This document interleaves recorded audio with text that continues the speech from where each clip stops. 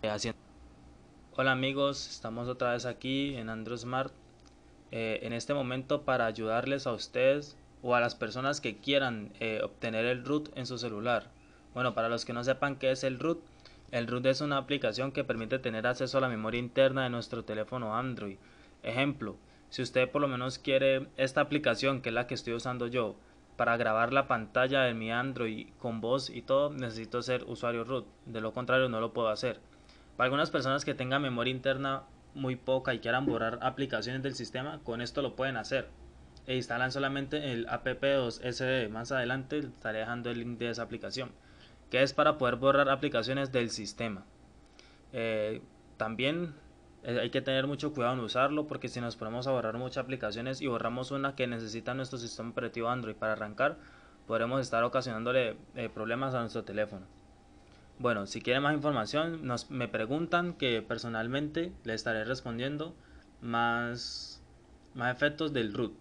En este momento les enseñaré cómo instalarlo en forma fácil, más que todo para las personas que no cuentan con, la, con el root de su teléfono, ya que se puede conseguir por internet, pero es mucho más complicado porque se tiene que hacer mediante se tiene que hacer mediante la mediante cables y todo eso, entonces puede ser que haciendo el flasheo de tu teléfono dañes el sistema operativo de tu celular. Bueno, empecemos. Lo primero que vamos a hacer es descargar el link que les dejaré con este video, que es una aplicación que se llama Framaroot, que es para hacer el root a nuestro teléfono de forma sencilla. Entonces lo primero que haremos es descargar desde el Mega, que es subido por mí, así que tranquilos que no tiene virus ni nada, la aplicación. La guardaremos en nuestro dispositivo, en la memoria externa del celular, y ella aparecerá así, Framaroot es esta, así, así, aparecerá. Entonces lo que vamos a hacer es abrirla, le damos a aceptar y eso, pero pues yo no lo hago porque ya la tengo instalada. Si no lo tuviera instalada no estaría haciendo este video. Ella se instalará e instalará consigo misma esta aplicación, que es el superusuario, que es la aplicación que nos permite dar los permisos de SuperSud. Bueno, ahorita ya después de que tengan instalada esta aplicación, para verificar que nuestro teléfono Android haya sido ruteado, descargaremos de Play Store eh, la aplicación llamada Root Checker. es muy sencillo descargar, es gratis en Play Store, no tiene ningún problema.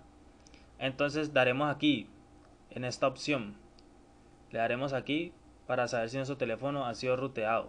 Y si no aparece este letrerito verde que dice felicitaciones, tu dispositivo ha sido ruteado, eh, es porque eh, el proceso, el proceso o el procedimiento ha sido 100% full y ya podremos hacer a nuestros permisos de nuestro teléfono Android. Ya podremos tener aplicaciones internas las cuales pueden ser administradas por esta aplicación.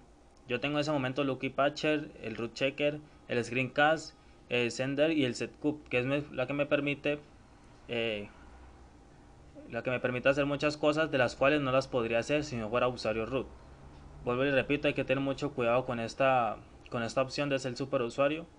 Y si tienen alguna duda, alguna pregunta, no deben hacerla. Saben que estamos para servirles. Muchas gracias y saludos desde el equipo, desde Android Smart.